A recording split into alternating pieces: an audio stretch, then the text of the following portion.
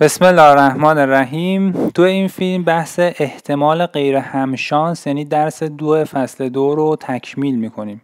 توی فیلم قبلی معرفی مختصری داشتیم و تو این فیلم مباحثش و نکاتش رو تکمیل می‌کنیم. این فیلم میشه آخرین فیلم نیم سال اول درس آمار و احتمال. از فیلم بعدی دیگه اختصاص پیدا می‌کنه به نیم سال دوم. این نکته گفتم بگم که اگه مثلا دارید برای امتحانات نیم سال اول آماده میشید آخرین فیلمی که باید مشاهده بکنید همین فیلم هست. از شما دعوت می‌کنم که این فیلم رو تماشا بکنید. اگر خاطرتون باشه توی فیلم قبلی ما بحث احتمال غیر همشانس رو یه خورده توضیح دادیم. مفهومش رو گفتیم. گفتم که ما یه فضای نمونه همشانس داریم که خب باش خیلی سر کار داشتیم. یه فضای نمونه غیر همشانس هم داریم. فضای نمونه غیر همشانس چی بود؟ فضای نمونه ای که احتمال پیش آمده ساده با هم برابر نیست. پیش آمده ساده خودش بود؟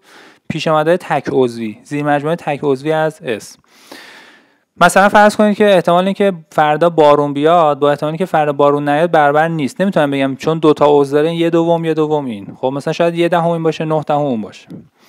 اما نکته اصلی چی بود؟ نکته اصلی این بود که به هر حال جمع پیشام جمع احتمال پیش آمده ساده برابر با یک میشه. خب؟ این مثال رو هم حل کردیم. شروع می‌کنیم بقیه مثال هاش رو حل می‌کنیم تا اینکه کاملا براتون موضوع جا بیفته. موضوع خیلی ساده ای هست. گفته که دو تا مرد M1 و M2 همراه با سه زن W1, W2 و W3 در یک مسابقه علمی شرکت می‌کنن. احتمال برد زنان برابر همه و احتمال برد مردان نیز برابر همه. خب یعنی همونقدر که احتمال داره این ببره همونقدر احتمال که این ببره. همونقدر که احتمال داره این ببره همونقدر احتمال که این ببره همونقدر احتمال که این ببره. اما احتمال برد هر مرد نصف احتمال برد هر زن است. خب اگه همه با هم برابر بودن خب می‌گفتم یه پنجم یه پنجم یه پنجم یه پنجم یه پنجم. ولی اینجا گفته این دوتا با هم برابرن. این سه تا هم با هم برابرن. ولی هر مرد نصف هر زنه. خب؟ احتمال برد زنان را حساب کن. احتمالی که یکی از زنا ببره. خب؟ قسمت الف اینو اما خواسته. خب ببین من میگم که مثلا فرض کنید که احتمال برد M1 رو می‌گیرم X. احتمال برد M2 هم x. خب همونه. با اون مساوی. احتمال برد W1 چی میشه؟ میشه دو x. احتمال برد هر زن دو برابر چیه؟ هر مرده. احتمال W2 هم همین میشه. احتمال W3 هم همین میشه دیگه. احتمال W2 و احتمال W3 هم همین میشه. خب.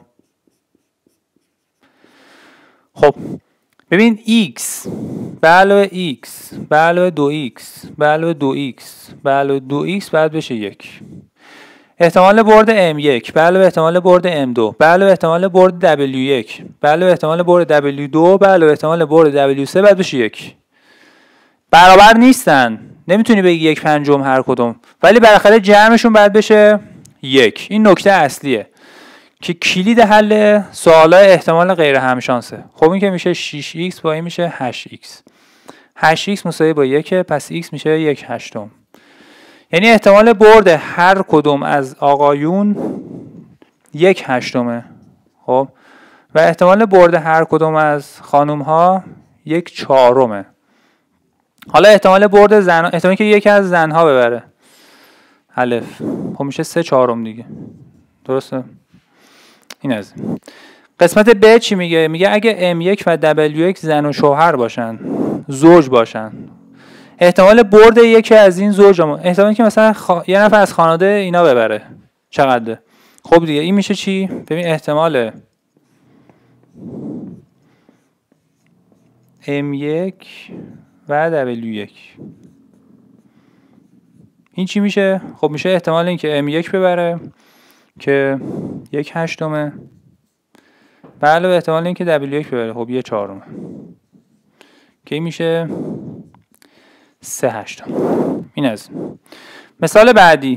گفته فرض کنید که S مساویه با مجموعه چهار عضوی یک تا چهار.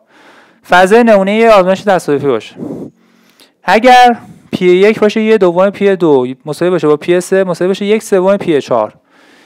اینو محاسبه کنید. خب ببین باز فضای نمونهش غیر همشانسه. مثلا پی یک نصف پی دوه. با پی سه برابره ولی باز یک سوم پی چهاره. درسته؟ اگر هم شانس بود می‌گفتم خب یک چهارم یه چهارم یه چهارم یه چهارم. تموم شد رفت راحت. ولی غیر هم شانسه میام چیکار می‌کنم؟ از این نکته استفاده می‌کنم که پی یک به علاوه پی دو به علاوه پی سه به علاوه پی چهار باید به بشه یک. درسته؟ این همون نکته اصلی هستش که دائم داریم ازش صحبت می‌کنیم. همشانس نیستن. باشه. ولی بالاخره جمع احتمالاشون میشه یک دیگه. خب. پی یک سر خوش می‌زنم باشه. ببین پی دو دو تا پی یکه. از سوال می‌تونم خیلی راحت اینو نتیجه بگیرم. پی سه خودش دوباره پی یکه. پی چهار سه تا پی یکه. خب یک با دو میشه سه سه و یک میشه چهار چهار و سه میشه هفت. هفت تا پی یک مساوی شده با یک. پس پی یک یعنی احتمال اینکه پیشامد یک رخ بده. میشه یک هفتم. سوال از ما چی رو خواسته؟ ببین پی دو سه ببین یعنی چی؟ ببین من میگم این یعنی پی دو. به پی سه دلیلش چیه؟ ببین دلیلش یه بار توضیح میدم. شما فرض کنید که ما یه مجموعه‌ای داشته باشیم. مجموعه تک عضوی دو. یه مجموعه ب هم داشته باشیم. مجموعه تک عضوی سه. خب. این مجموعه چیه؟ آ اجتماعش با ب. اجتماعش دیگه درسته؟ خب شما می‌دونی که احتمال آ اجتماعش با ب میشه. احتمال آ. به علاوه احتمال ب منهای احتمال آ اشتراکش با ب خب آیا این دوتا اشتراک دارن؟ نه دیگه اینا عضو مشترک دارن نه. پس آ اشتراکش با ب تهیه و احتمال تهی چقدره؟ صفره. پس اینجا تو این سوال میشه فقط پی آ به علاوه پی ب. خب پی آ که دوه اینم که سه دی. اینم توی فیلم قبلی گفتم. پی دو منظور اگه بخوای خیلی اصولی مثلا بنویسی اینجوری می‌نویسن. خب منتها برای ساده نویسی اینو اینجوری می‌نویسن. پی سه هم همینطور. خب پس من پی دو رو می‌خوام و پی سه رو می‌خوام. پی دو چقدره؟ پی دو دو برابر پی یکه. یعنی میشه دو هفتم. پی سه چقدره؟ پی سه همون پی یکه. طبق فرض سوال. این میشه یه هفتم.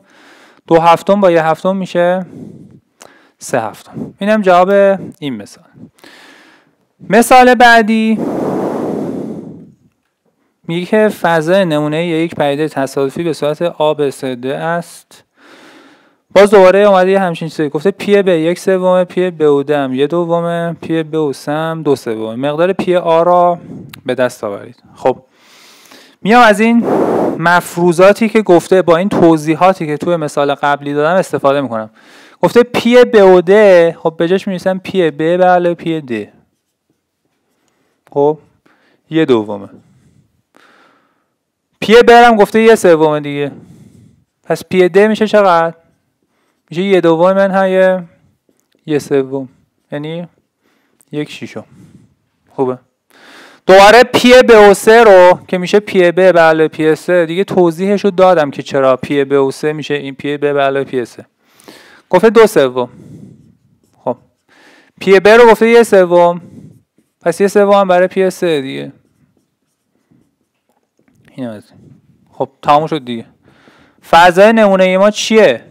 آ ب س د. خب. احتمال آ رو خواسته. ببین احتمال ب و د چقدره؟ احتمال ب و د با هم دیگه میشه یه دوم. احتمال سی چقدره؟ احتمال سی رو به دست بودیم یک سوم. خب. احتمال آ رو می‌تونم راحت به دست بیارم دیگه. ببین این دوتا با هم دیگه شده. یه دوم. با سی که یک سومه. با آ بعد بشه یک. یه دوم به علاوه یک سوم میشه پنج شیشم پی آ میشه یک شیشم ببین نیازی هم به اینکه پی دی رو به صورت جداگونه حساب بکنیم نبود. می‌تونستیم مثلا از اینجا که من حداقل تو این راه گرفتم از اون استفاده نکردم. میشه از اونم حتی استفاده کرد. مثال بعدی گفته تاسی به گونه ای ساخته شده است که احتمال وقوع هر عدد فرد سه برابر احتمال وقوع هر عدد زوج است. اگر آ باشه این پی آ را بیابید. ببین یه تاس ناسالمه. معمولا توی مسائل میگن تاس ناسالم مثلا. خب یا میگن تاس سالم. تا سالم یعنی تاسی که احتمال یک یک شیشم احتمال دو یک شیشم همینجوری. احتمال هر کدومش یک شیشمه خب؟ این ولی اونجوری نیست. مثلا اگه تاس سالم دیدی یا تاس ناسالم دیدی معنیش اینه. مثلا یه تاس ناسالم بهش میگن. احتمال وقوع هر عدد فرد سه برابر احتمال وقوع هر عدد زوجه. ببین مثلا فرض کن اگه احتمال دو باشه x احتمال یک میشه 3x سه برابرشه. دوباره احتمال سه سه برابر اینه دیگه 3x احتمال 4x از سوال این برمیاد که احتمال وقوع اعداد زوج یکسانه و احتمال وقوع اعداد فرد هم یکسانه با هم. ولی هر فرد سه برابر زوج. خب؟ احتمال 5 دوباره 3x احتمال 6x خب؟ جمعش باید بشه یک. این 4x این هم 4x این هم 4x دیگه. میشه 12x 12x باید بشه یک و x میشه یک دوازدهم. یعنی احتمال اومدن مثلا دو یه دوازدهمه احتمال اومدن چهار هم یه دوازدهمه احتمال اومدن شیش هم یه دوازدهمه. اما احتمال اومدن یک سه برابر اینه دیگه میشه یک چهارم. سه هم یک چهارم اینم یک چهارم. خب؟ گفته آ هست دو سه پی آ رو پیدا بکنید. یعنی پی دو سه رو پیدا بکنید. با توضیحاتی که دادم این یعنی پی دو به علاوه پی سه. خب پی دو یه دوازدهمه پی سه هم یک چهارم دیگه. یک دوازدهم به علاوه یک چهارم. خب اینم که سه دوازدهمه با یه دوازدهم میشه. چهار دوازدهم یا یک سوم. این هست. مثال بعدی هم باز یه چیز سوای مایاست یه تاس ناسالمه. تاسی به گونه ای ساخته شده. پس یه همچین عبارتی رو دیدی؟ بفهم که مسئله مسئله احتمال غیر همشانسه. که احتمال وقوع هر عدد متناسب با عکس آن عدد می باشد در یک بار پرتاب این تاس چقدر احتمال دارد که عددی اول ظاهر شود؟ احتمال وقوع هر عدد متناسب با عکسشه. یعنی اگه مثلا فرض کنید من احتمال یک رو بگیرم x احتمال دو میشه چقدر؟ X دوم. احتمال سه میشه x سوم. به متناسب با عکسشه. برعکس عکس یعنی برعکسش دیگه خب؟ احتمال سه با یک سوم متناسب. احتمال دو با یک دوم همینجوری. احتمال چهار میشه x چهارم. احتمال پنج میشه x پنجم. و احتمال 6 هم میشه x شیشم جمع اینا باید بشه یک. X به علاوه x دومه. به علاوه x سومه. به علاوه x چهارمه. به علاوه x پنجمه. به علاوه x شیشم باید بشه یک. خب بعد اینو مخرج مشترک بگیریم. به نظرم مخرج مشترک 60 چیز خوبی باشه. اگه x هم انگار مثلا می‌تونیم فاکتور بگیریم خب؟ این میشه 60 این میشه سی این میشه 20 15 دوازده و ده. خب. 90 110 120 اینم که میشه 27 با 120 میشه 147 پس 147 x 60 باید مساوی بشه با یک. یعنی x میشه 60 147 به یه دونه سه هم ساده میشه. خب این به سه ساده بشه میشه 20 اینم به سه ساده میشه میشه 49 این احتمال چیه؟ این احتمال اینه که ما x رو احتمال اینکه یک بیاد گرفتیم. این احتمال اینه که یک بیاد. خب 20 120 49 هم 100 20 49 احتمال سوال چیه بود؟ گفتین چقدر احتمالی که عددی اول ظاهر بشه؟ خب عدد اول ظاهر بشه عدد اول تو یک تا 6 ایناست دیگه این تاست. دو سه و پنج. خب میشه پی دو. به علاوه پی سه. به علاوه پی پنج. پی دو ایکس دومه. خب؟ یعنی ده چهل و نهم. پی 3 x سومه. خب اینو تقسیم بر 3 بکنم. میشه 20 147 پی 5 x پنجمه. x پنجم میشه 449 خوبه. جمع اینا. این دوتا که با هم دیگه میشه 14 49 به علاوه 20 147 برای اینکه جمع بکنم اینم بخیرش رو می‌خوام یکی کنم دیگه. یه ضرب سه می‌کنم. سه ضرب داره چهارده که میشه چهل و دو. چهل و دو با بیست میشه شست و دو. صد و چهل و هفتم اینم از این. مثال بعدی گفته بر روی یک تاس اعداد دو تا یک. سه تا دو و یه دونه سه نوشته شده است. تاسش ناسالمه. خب؟ دو تا یک سه تا دو یه دونه سه. اون تاس معمولی اینطوری نیست. این تاس را دو بار می اندازیم چقدر احتمال دارد که مجموع دو عدد رو شده چهار باشد؟ خب یه ذره از اونا متفاوته. ببین دو تا یک سه تا دو و یه دونه سه. مجموعش می‌خواد چهار باشه. خب مجموعه چهار به من اینو در حقیقت اینطوری می‌خوام حل بکنم. میگم باشه ببین بالاخره تو تاس احتمال وقوع وجوه با هم برابره دیگه. خب؟ حالا شما رو سه تاش مثلا فرضتون دو رو نوشی یعنی اومدی شانسش رو مثلا سه برابر کردی. درسته؟ یعنی تو ذهن من این داره میگذره وقتی این سوال هم. من میگم مجموعه چهار یعنی چی؟ یعنی مثلا فرض کنید که دفعه اول یک بیاد یا اینکه دفعه اول یک بیاد دفعه دوم سه بیاد. خب یه حالتش اینه. یه حالش هم اینه سه و یکه. دفعه اول مثلا سه بیاد دفعه دوم یک بیاد. و یه حالتش هم اینه که هر دو دفعه چی بیاد؟ دو بیاد. اینه دیگه. یه حالت دیگه ای که نیستش که جمعشون بشه چهار. خب بیام تعداد اینا رو بشمارم. ببین اینجا می‌خوام یک بیاد خب دو تا یکه پس دو. سه منتها یه دونه است داره یک. بله. این یه دونه است. ضرب داره دو. این سه تاست. اینم سه تاست. کلا چیه؟ کلا هم خب 36 تاست دیگه درسته؟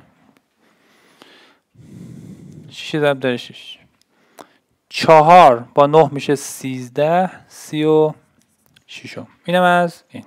مثال بعدی گفته که در یک مسابقه میان سه اسب آ و ب و سه احتمال برنده شدن آ نصف احتمال برنده نشدن ب. و احتمال برنده شدن ب سه دهم احتمال برنده نشدن سی است. احتمال پیروزی سی را محاسبه کنید.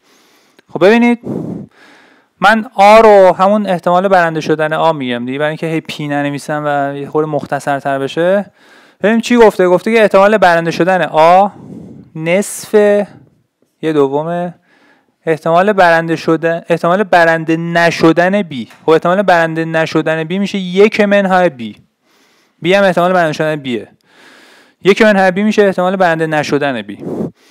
و احتمال برنده شدن بی سه دهم. احتمال برنده نشدن سی است. خب؟ این دوتا رو که خودش گفته. و من می‌دونم که بالاخره یا آ برنده میشه یا ب یا سه و این یعنی جمع اون سه تا میشه یک. احتمال پیروزی سی رو خواسته. خب من میام چیکار می‌کنم؟ سعی می‌کنم که این دوتا رو بر اساس سی بنویسم. الان B خودش بر اساس C هست. درسته؟ اینکه دردسری نداره. میشه حالا فقط اینو تو این ضرب کنم. میشه 3 دهم منهای 3 دهم C خوبه؟ پس یه C که داریم دارم به ترتیب برعکس می‌ذارم یه C که داریم B میشه 3 دهم. منهای 3 دهم C. خب آ چی؟ ببین آ به حسب بیه من بر اساس C می‌خوام بنویسم که دیگه اینجا تو معادله فقط یه دونه مجهول باشه. خب کاری نداره میام بی رو بر اساس سی جاگذاری می‌کنم. گفته یه دوم در یک منهای بی خب میشه یه دوم در یک منهای به جای بی هم اینو می‌ذارم دیگه. مثلا اینو می‌ذارم. سه دهم منهای سه دهم سی. خب ببین منهای بی منفی هم به این تعلق میره هم به این دیگه. پس میشه به علاوه سه دهم سی. خب این میشه هفت دهم. یه دوم تو این ضرب کنیم. یه دوم ضرب در هفت دهم میشه سی و پنج صدم. یه دوم توی سه دهم هم ضرب کنیم میشه 15 صدم. بله 15 صدم این آ بر حسب سی. خب آ رو بر حسب سی می نویسم سی و پنج صدم. به علاوه 15 صدم. ببین فقط گیر محاسباتی داره. ولی هیچ گیر مفهومی خاصی نداره. یه سه ماده مشهول دارم حل می‌کنم. خب سه دهم با سی و پنج صدم میشه شست و پنج صدم. این بره اونور از اون یکی کم بشه میشه سی و پنج صدم. درسته؟